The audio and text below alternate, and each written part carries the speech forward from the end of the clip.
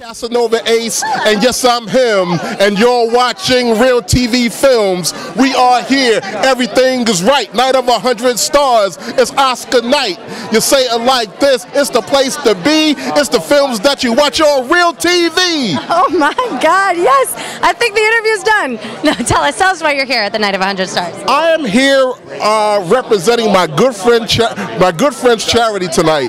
Why not Smiles? Her name is Edna Lee, and Edna Lee tells people about the charity. Is this Edna right here? Come on up. You look so beautiful and elegant tonight. So tell us about the charity. Um, it's kind of like a Habitat for Humanity meets Make a Wish Foundation. We just we focus on disaster relief and the youth, and we just want to make a difference in the world. So That's so great. Tell me, you know, what what brings you here and what are you most excited for just for Showtime? The nominees, Ellen.